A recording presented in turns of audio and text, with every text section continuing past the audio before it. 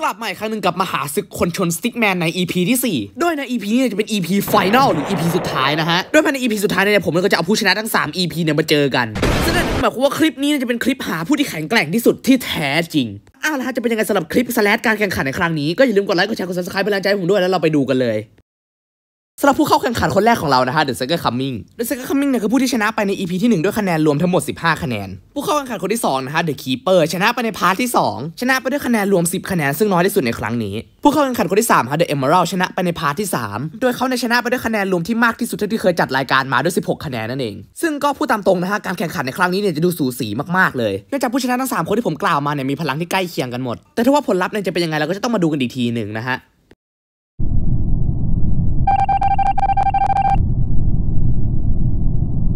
เออใช่ครับผมรู้ดีว่ามันต้องใช้ตังค์แต่ว่าผมไม่ได้เอากระเป๋าตังค์มา เอางี้ไหมค่าเข้ามันแค่19 บาท ผมผ่อน 30 ปีก็ได้นะ แล้วพวกนายคิดว่ายังไงบ้างล่ะส่วนตัวฉันคิดว่าเซคัคัมมิ่งเนี่ยน่าจะได้เปรียบที่สุดในการต่อสู้นะพวกนายลองคิดดูสิเซคัคัมมิ่งเนี่ยมีความเร็วสูงสักขนาดนั้นไม่มีใครโค่นเขาลงได้หรอกแต่เอาจริงถึงจะเป็นอย่างนั้นก็ยังน่าเป็นห่วงอยู่ดีเอ้ยโย่ Happy Meal มาแล้วมีใครเอาบ้างเราเราฉันเอาฉันเอาฉันเอาเอาละทุกคนเงียบหน่อย ผมต้องการที่จะทำให้การแข่งขันครั้งนี้เป็นการแข่งขันที่จริงจัง ในตอนนี้เราจะพาผู้เข้าแข่งขันทั้ง 3 คนไปสัมภาษณ์กันว่าเขาเนี่ยรู้สึกยังไงที่สามารถมาถึงในรอบไฟนอลนี้ได้ ขอเชิญคุณ The Keeper Emerald และ Second Coming เดี๋ยวก่อน พวกเขายังไม่มาถึงเหรอ โอ้ย สายจนได้ แต่เครื่องดูดฝุ่นนี่ก็เร็วดีเหมือนกันนะเนี่ยโยว่าไง Second Coming โทษทีฉันจะเป็นที่ต้องพูดแบบนี้ แต่ว่าเครื่องดูดฝุ่นของนายนะไม่เร็วเท่ารถไอติมของฉันหรอกนะ และในขณะเดียวกันก็ไม่มีอะไรเร็วเท่าจักรยานของฉันเหมือนกันเหรอวะโอ้สุดท้ายก็โดนไอ้เจ้าม่วงนั้นเล่นจนได้ แต่ก็ช่างเหอะ คิดในแง่ดีอย่างน้อยก็ยังเดินทางได้เร็วขึ้นนะไอ้เวนะว้าโอเคเดี๋ยวเหมือนว่าผู้เข้าแข่งขันของเราเนี่ยจะมาถึงกันแล้วนะฮะ ว่าแต่คุณ Keeper เนี่ยไปไหนและเกิดอะไรขึ้นเนี่ยไอ้ม่วงนั่น มัน มัน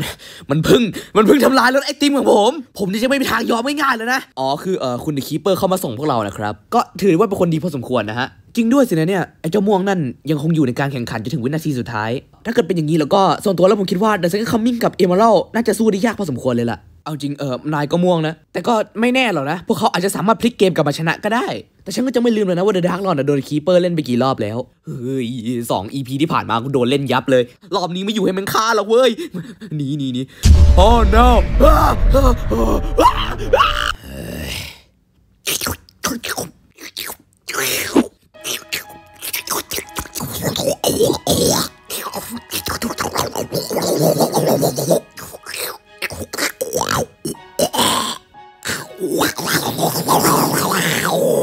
สินะ เจ้าแมงมุมนั้นพูดถูก ถึงแม้ฉันจะตีกับมันอยู่ทุกวันก็เถอะนะ เอ้ยไอ้ม่วง ถอยไปเดี๋ยวนี้เลยนะเว้ย ฉันเองก็ถูกมันทำร้ายอยู่บ่อยครั้งแล้วนะ เอ้ย พวกเมอร์เซนารีมาทำงานกัน อันนี้ฉันกำลังดูอะไรอยู่เนี่ย ได้เลยครับบอส กำลังรอเวลานี้อยู่เลยล่ะ ฉันพร้อมบวกแล้วล่ะ ถ้างั้นพวกเราก็ไปลุยกันเลยดีกว่า จริงๆ30 ปีผมไม่บิดหรอกโอ้โหถ้าเกิดบิวมาสักขนาดนี้แล้วเนี่ย จะให้พวกเราอยู่เฉยๆได้ยังไงกันล่ะ เอาล่ะพวกนาย ใครเอาด้วยกับฉันบ้าง ฉันอยู่แล้วปะ let's go เออ ให้ตายเหอะ ยืนอยู่เฉยๆมันก็เมื่อยตายซิสีม่วง Kickstarter และหมู เราไปช่วยเจ้านั่นกันเถอะ โอเคครับ ไปกัน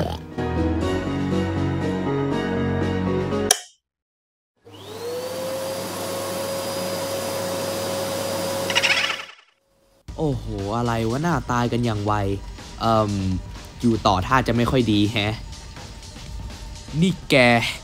แกเพิ่งจะฆ่าเพื่อนของฉันอย่างนั้นฮะ ฉันจะไม่ยกโทษให้แกแล้วนะ ฉันเองก็จะไม่ทนเหมือนกัน รถไอติมฉันอะแพงมากแล้วมันยังผ่อนไม่หมด แกน่ะเตรียมตัวตายไว้ให้ดี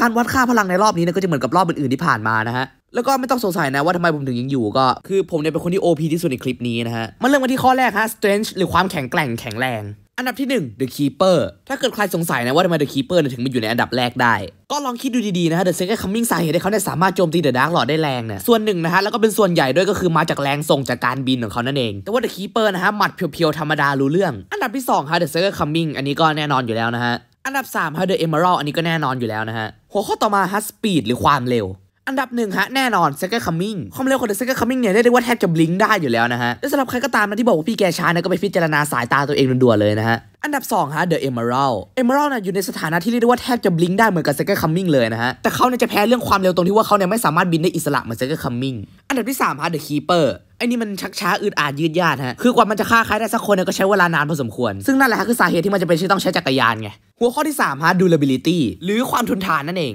อันดับหนึ่งตกเป็นของ The Second Coming โดย The Second Coming ในร่าง Awakening เนี่ยฮะ คือเจาะไม่เข้าเลยถ้าเกิดเวลาในการใช้ร่างนี้ไม่หมดก่อน คือมันก็สภาพเดียวกับ Omnitrix เลยอันดับ 2 ตกไปของ The Keeper ครับผม จะเรือดำน้ำขีปนาวุธอะไรก็มาเลย The Keeper เนี่ยสามารถรับได้ด้วยตัวเปล่าถึงแม้ว่าตัวของเขาจะสาหัสก็เหอะอันดับ3ฮะ The Emerald ไม่ต้องเป็นห่วงไปนะ ถึงแม้ว่าเรื่อง durability เนี่ยเขาจะอยู่ที่ 3 แต่เชื่อผมเถอะฮะ Emerald เนี่ยดูสมดุลสุดแล้ว ต่อมาฮะเราอยู่ในเรื่องของ defense การป้องกันตัวของพวกเขา อันดับหนึ่งฮะ The Second Coming The Second Coming นะครับมีวิธีการป้องกันตัวเองหลายอย่าง ตัวอย่างเช่นระเบิดช็อคเวฟหรือว่าใช้พลังจิตในการยกผู้ต่อสู้ไปที่อื่นก็ได้ อันดับ2ฮะ The Keeper และ The Emerald นะฮะเสมอกัน หัวข้อต่อมาฮะ Attack Speed ความเร็วในการโจมตี อันนี้ก็คงจะเดาไม่ยากสักเท่าไหร่ฮะ The Second Coming ได้ที่หนึ่งไปอยู่แล้ว อันดับที่2ฮะตกมาเป็นของ The Emerald พี่แกเนี่ยก็ไม่ได้เร็วอะไรขนาดนะฮะแต่ก็ถือว่าสมดุล ต่อมาอันดับ3ฮะ The Keeper เรื่องความลงความเร็วอะไรเนี่ยไม่ต้องไปพูดถึงพี่แกนะฮะ ถ้าพูดถึงเรื่องความเร็วเนี่ยพี่แกเนี่ยลังท้ายเสมอ หัวข้อต่อมาฮะ Attack Power ความแรงในการโจมตีอันดับหนึ่งฮะ The Second Coming แน่นอนอยู่แล้ว ถ้าเกิดให้พูดถึงเรื่องพลังเนี่ยฮะ The Second Coming ยังไงก็นำโด่ง อันดับ2นะฮะขอมอบให้กับ The Keeper เนื่องจากเขาเนี่ยสามารถต่อยของในโลกความเป็นจริงให้ล้าวได้ ปัด The Dark Lord ให้ปิวได้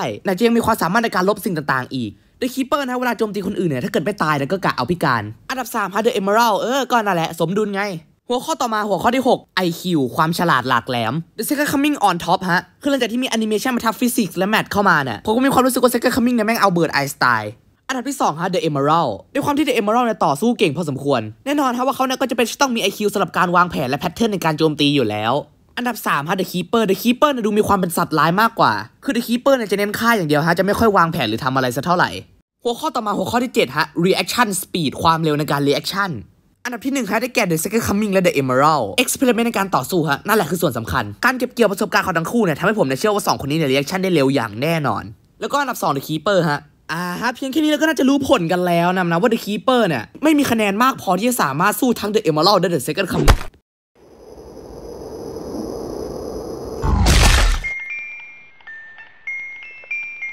ในเมื่อโกซุปตัวจริงแตกไปแล้ว วันนี้เราก็มาอยู่กับผม Classify Stick และวันนี้เราจะมาช่วย The Keeper กัน ในเมื่อ The Keeper เนี่ยไม่สามารถเอาชนะได้ด้วย 7 ข้อ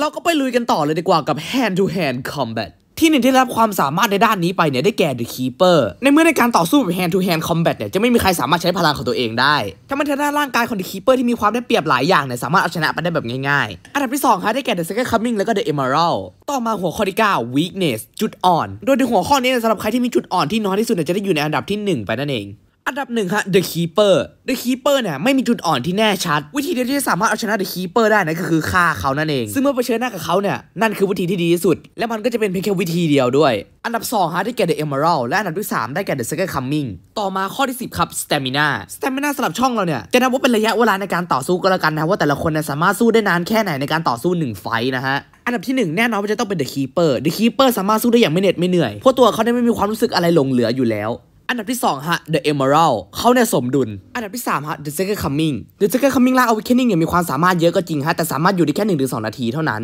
หัวข้อที่ 11 ฮะ Endurance ความอดทน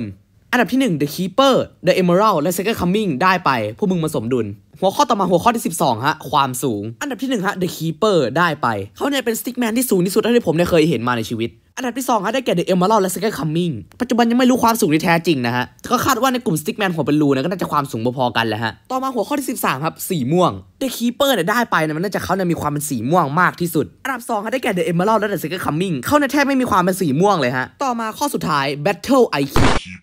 อันดับหนึ่งที่ได้ไป The Keeper อันดับสองที่ได้ไป The Keeper อันดับสามที่ได้ไป The Keeper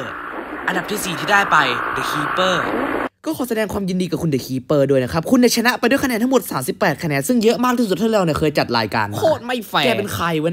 สวัสดีอีกครั้งครับทุกคน ผมเองดีซับผมหายไปจากช่องนี้นานพอสมควรเลย ผมหายไปประมาณ 1 ปีกับอีกครึ่งเดือนได้ และในเมื่อการต่อสู้เมื่อกี้มันไม่แฟร์เนี่ย เราจะยืดจาก 17 ข้อไปมากกว่านั้นอีก ถ้าพร้อมแล้วเรามาเริ่มกันเลยดีกว่ากับ Battle IQ ที่หนึ่งที่ได้ทางด้าน Battle IQ เนี่ยได้แก่ The Emerald เขาเนี่ยมาพร้อมกับการวางแผนต่างๆ มากมายในการมาโจมตี The Dark Lord ในตอนแรก อันดับที่2ฮะ The Second Coming เช่นเคยฮะ Experiment ในการต่อสู้เนี่ยเป็นสิ่งที่สำคัญ ก็ไม่แปลกนะที่เขาเนี่ยจะมี Battle IQ ที่สูง อันดับที่3ฮะ Battle I คง IQ อะไรไม่ต้องมี The Keeper ก็เช่นเคยฮะ เน้นฆ่าแกงนั่นแหละต่อมาข้อ 18 ฮะ planning การวางแผน อันดับหนึ่งนะฮะ The Emerald เนี่ยได้ไป โดยเหตุผลเนี่ยจะข้อเดียวกันกับ Battle IQ เลยนะนะ อันดับ2นะ The Second Coming ได้ไปในเรื่องการ planning ถึงอาจจะ planning ไม่เยอะแต่ก็ยังดีกว่า The Keeper นะนะ และอันดับ3ฮะ The Keeper ไร้ซึ่งการ planning ใดๆทั้งสิ้น ฆ่าแกงอย่างบ้าคลั่งนั่นแหละคือคำตอบ ต่อมาหัวข้อที่ 19 ฮะ fighting technique ที่หนึ่งนะฮะได้แก่ The Emerald ได้ไปในเรื่อง fighting technique The Emerald เนี่ยเรามองเขาจากดาวอังคารก็รู้นะว่าเขาได้เป็นสายต่อสู้บวกเทคนิค เขาเนี่ยรู้วิธีการ counter รู้วิธีว่าจะต้องใช้อะไรส่วนอะไรบ้าง เขาเนี่ยรู้วิธีว่าเลเซอร์ของ The Dark Lord จะเป็นที่ต้องใช้อะไร counter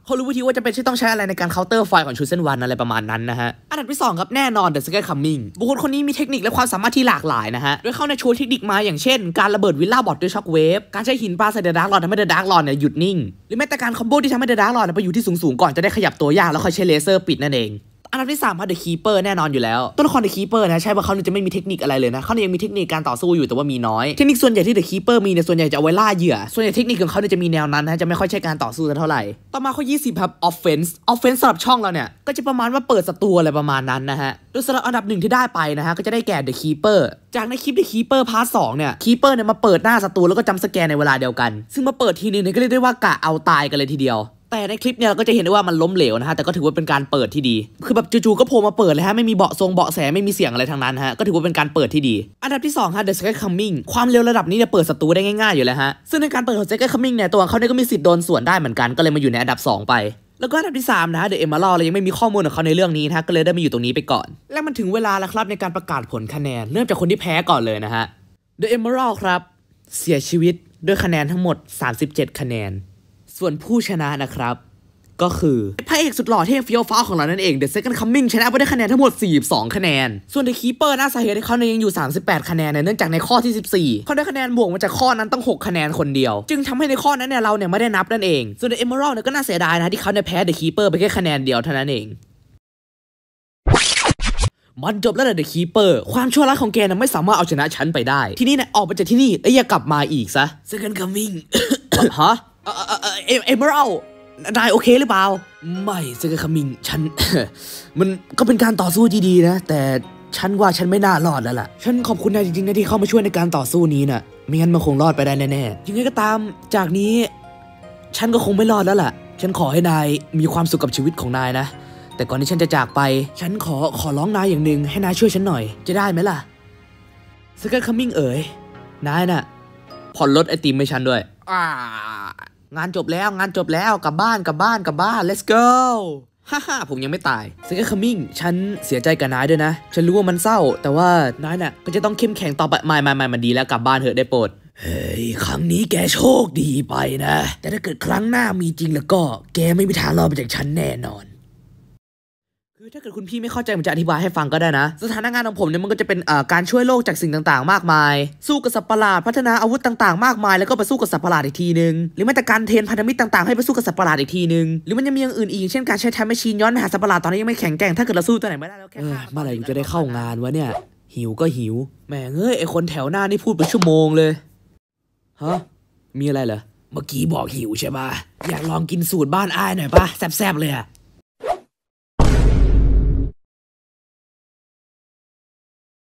มันคุ้นๆเหมือนกันนะเนี่ย สูตรนี้นี่นายไปเอามาจากไหนเหรอ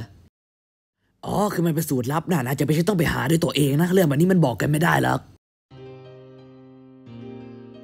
ก็ต้องขอขอบคุณทุกๆคนที่ดูมาถึงตอนนี้กันด้วยนะนะก็สำหรับใครที่ดูครบทุก part เนี่ยเมื่อขอขอบคุณเป็นอย่างสูงเลยนะฮะส่วนซีรีส์วัดพลังซีรีส์นี้เนี่ยจะเอายังไงต่อก็จะต้องรอดูในอนาคตนะฮะอาจจะมีตอนโบนัสมาสักตอน 2 ตอน หรืออาจจะมี season 2ในอนาคตก็ได้ แต่มันจะเป็นยังไงต่อเนี่ยก็ต้องรอดูต่อไปนะสำหรับวันนี้เอาไว้เจอกันใหม่คลิปหน้าครับผม